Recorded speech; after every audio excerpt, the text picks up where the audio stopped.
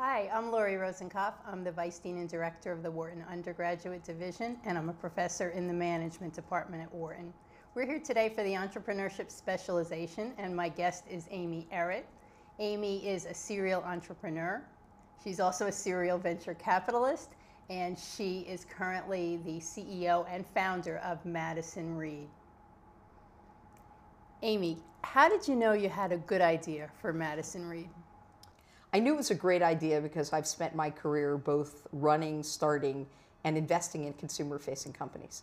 And one of the things that I learned on both sides of that is that a great consumer idea is typically where consumers have some pain point that you're trying to solve. And uh, the point that we're trying to solve is better for you hair color to 108 million women in the US who color their hair every six weeks. So, as a venture capitalist, there's sort of three things that you look for one, size of the market. Well, this one's huge. Two is, is the product different and differentiated? We've taken out the harsh chemicals. And number three is, is there a passionate team that wants to invest in typically venture-backed companies don't have exits for seven to eight years. I know that that's news to most people who think it's 18 months. Uh, and so, you know, do you have a group of people that's really passionate? And in addition, I took a walk with a venture capitalist friend when I was thinking about doing this, and he kept calling me for days uh, didn't have a deck, just realized the size of the prize and that I was passionate about pulling it off. And what did you have to do as you got going with this to test that idea? Well, I've come to realize that uh, for most people, but in particular entrepreneurs, when you're younger in your career, you don't value this one thing that as you get a little older in your career, you value, which is your time. Right? Most people think it's all about do you, can you get the money? And I think it's a lot about can you get the money, but are you going to spend your time well? So I didn't take any money until I had really figured out that we could formulate this, that we could actually get it into the tubes, and that most importantly, that it worked for consumers. So once I knew that we did that, then I understood that you know we had to put the gas pedal down and introduce the business and see where it went from there. And since then, have you had to do any sort of pivoting, or has it been smooth sailing?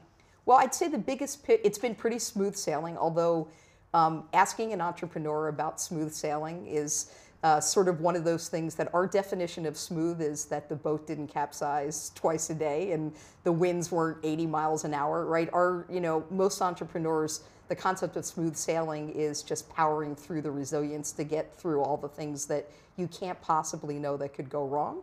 But kind of coming back to Madison Reed, one of the biggest issues were, was we thought that the business was only direct to consumer, and we've been shocked that actually there's a salon channel business that we never anticipated. So the pivot is not that we're doing anything that is different, it's just that the demand is coming from a bunch of different places, not just direct consumers. So tell us how the professional salons have reacted to your offering. Yeah, they, it's it's interesting because we took an approach right from the beginning, which was and versus or. And what I mean by that is, out of the 108 million women, 50% of the women uh, color their hair at home, and 50% color in a salon. And so you would think that our stance about the brand would be, you know, fire your salon, they're terrible, only use this DIY product. And in fact, we took an approach which said we have a suite of products, whether you color in a salon or whether you color at home.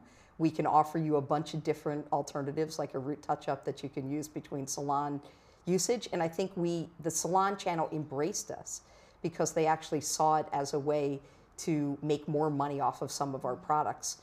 And so it's gone really, really well.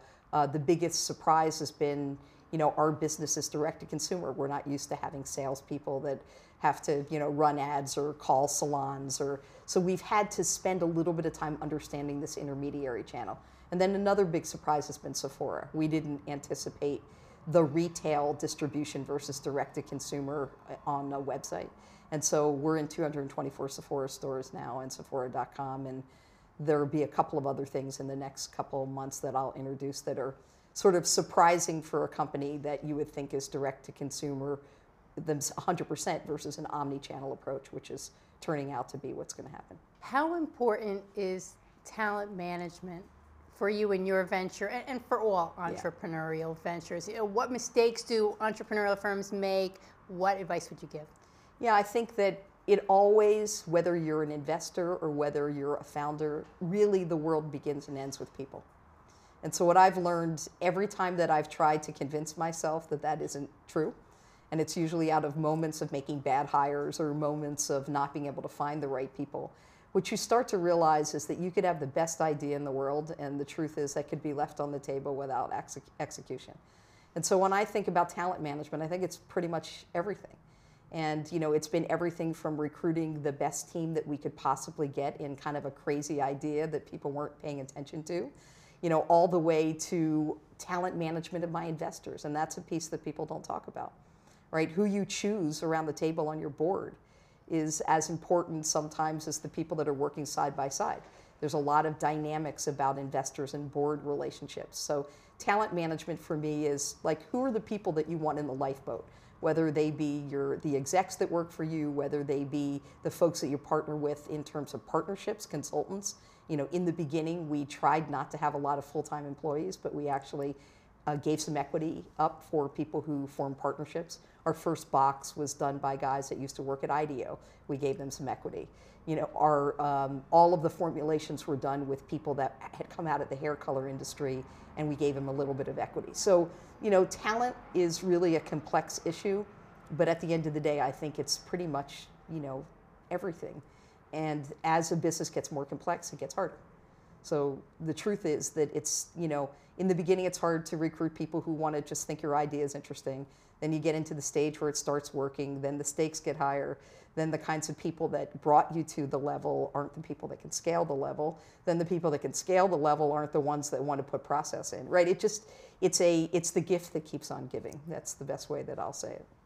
So you've mentored and advised many people over your career, but let me turn it around now. Who was the best mentor or advisor you ever had, and what made them so? So I think it, uh, early in my career as an investment banker, and as I say often, it was not good for all those involved. Um, meaning, you know, f- it wasn't a fulfilling. Uh, I'm, I'm a much more entrepreneurial than working in a large sort of financial institution person. I didn't know that at that point in my career. Um, and I think in terms of um, the organization, I'm not sure that they got the best of me, but I ended up working for a guy who ended up being a like lifelong mentor to me. And I remember my first conversation, I was just out of college, uh, undergrad, before I actually went to Wharton to graduate school. And I was quite sure of myself. And I remember having this conversation and saying to him, like, all these people are getting promoted. What do I need to do to get promoted? And he paused and he said, Well, when you start acting that way, then you'll actually become that.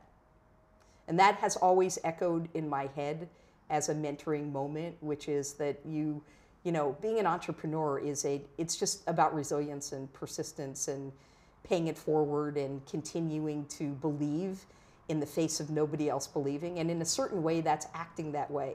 And then you will manifest that and become that. And what I've said all along um, in all the parts of my career in mentoring people is you just can't be any further than you are right at that moment, right? So you need to understand the steps to get there, but you also have to understand that a lot of it is just paying it forward. And a lot of it is, you know, you're not really entitled to anything. You have to earn it. Are there certain personality characteristics that you believe are critical for entrepreneurs? Yeah. Um, one is that I've talked about all the time is resilience. Right? It's sort of like your the way that I think about it all the time is um, there. There was actually a, little thing that I put on Facebook, which was like sort of hilarious, but it was really true, and it went something like this: I don't know. You know, I'm an entrepreneur. I don't know what whether I need a hug, you know, a shot of vodka, um, you know, a reality check you know, or you know, or somebody just to tell me my idea is is kind of doesn't make any sense. Like from moment to moment, the amount of resilience that you need is just extraordinary. So what I used to look for as an investor is somebody who just wasn't going to. There, no was not possible. They were going to go around the mountain, through the mountain, over the mountain, and make it happen, right? Because I believe if you get a group of people who want something bad enough, you can do extraordinary things. So one is resilience. Second is just persistence Third is what I call um, agility, not flexibility. And I, this, uh, this is something I talk a lot about.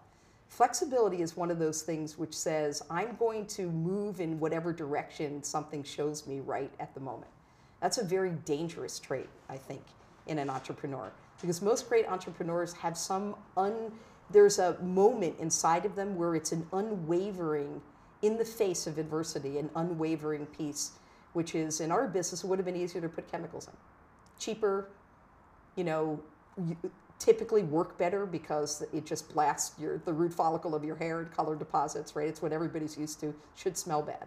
You know, I've been unwavering that regardless of what anyone says, we need to do what's best for our consumer. That there's a social mission in this company, right? We're going to prove to the CPG companies that it can work and be awesome and be better for you, right? So if I was flexible, I would have heard what people said and said, oh, maybe that's the way we should go. That seems easier versus being agile. Those are two really different concepts. And agility is really like I look at the fact pattern, I understand what's going on, I check in with myself about what's okay, and I will course correct as things go on, but I'm not just going to go with the wind because it seems like it's easier or someone is trying to influence me.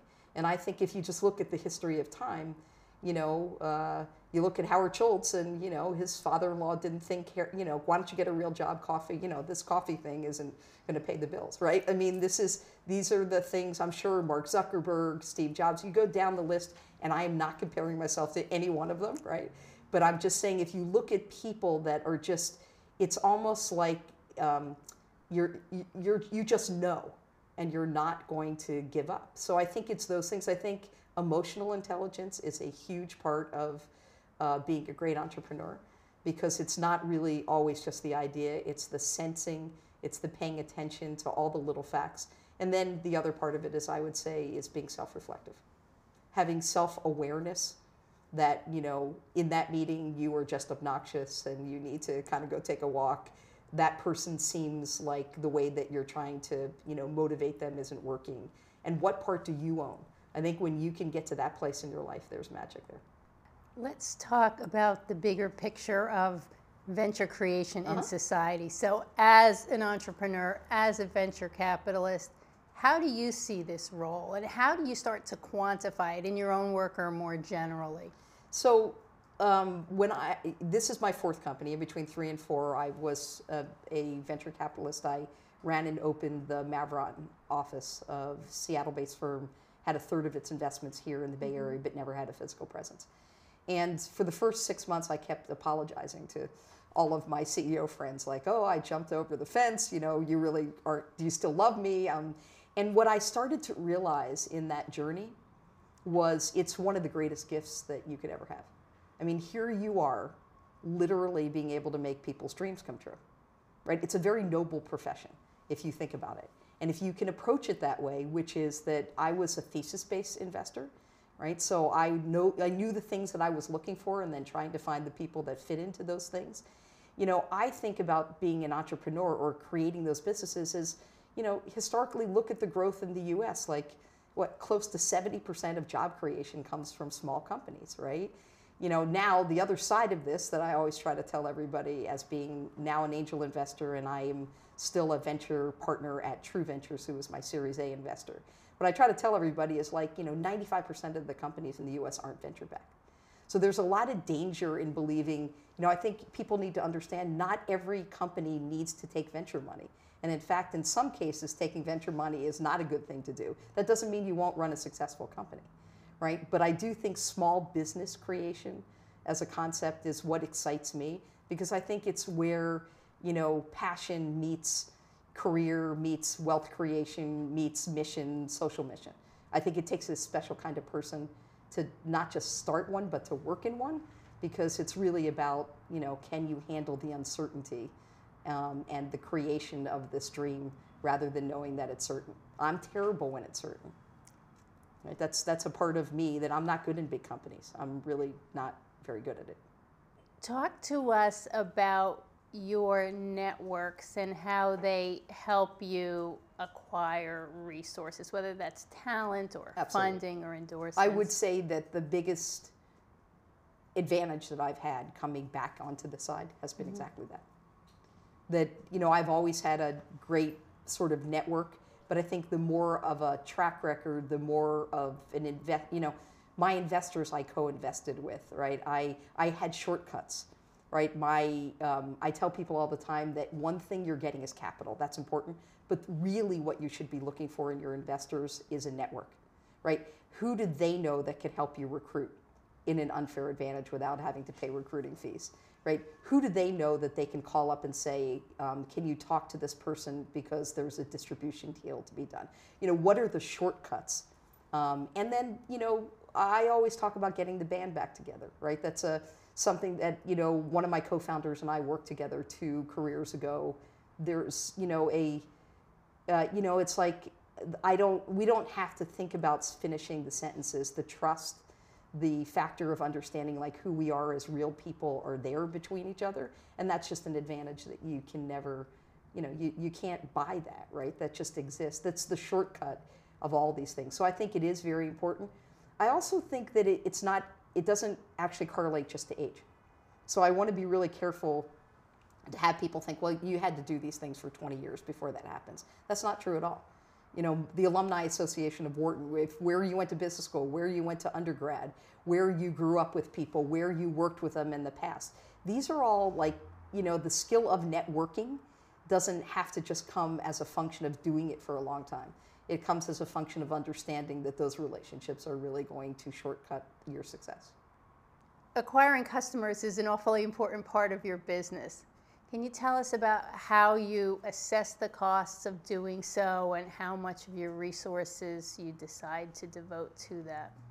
Yeah, it's a great question. I think that um, you know this notion of talking about omni-channel creates a very interesting dilemma, right? Because uh, in in our opinion, the woman primarily that we are um, attracting, or any company that is knowing their customer, you know, really has to understand that acquisition has a lot of parts to it, a lot of distribution. So for us, it's been a lot online, right? In new tactics like, you know, actually targeting on Facebook. Like one of the things that Facebook has been incredibly interesting about, and I, am going to share a funny story about how these channels can affect each other, is that you can build these lookalike audiences. So if you effectively know who your customer is, your target is, Facebook can build these audiences of like-minded people to serve your ads to, right? So it, you know, it's it's very targeted. So for us, you know, our resources the, in the beginning, the majority of our resources was paid acquisition. Literally, we were paying per customer to get to effectively get to a place where we had enough of a nucleus that we could start leveraging social and we could also start leveraging what I would call referral, you know, which has become a huge part of our business. So every time that we ship a box, we actually ship these beautiful cards that are inspirational quotes. And on the back of them, they're give this to a friend and, you know, $15 off your first purchase at Madison Reed. It's, it's crazy how much a consumer who loves something wants to share that message, right? And so for us, it's been a combination of paid acquisition, lots of things, Pinterest, Facebook, Pandora, um, you know, a lot of organic traffic. So we've worked really hard, you know, on keywords, on SEM, a lot on social, a lot of referral.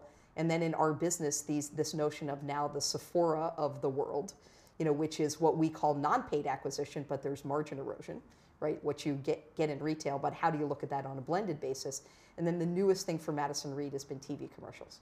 So we are on national TV. Um, it's been a really interesting ride.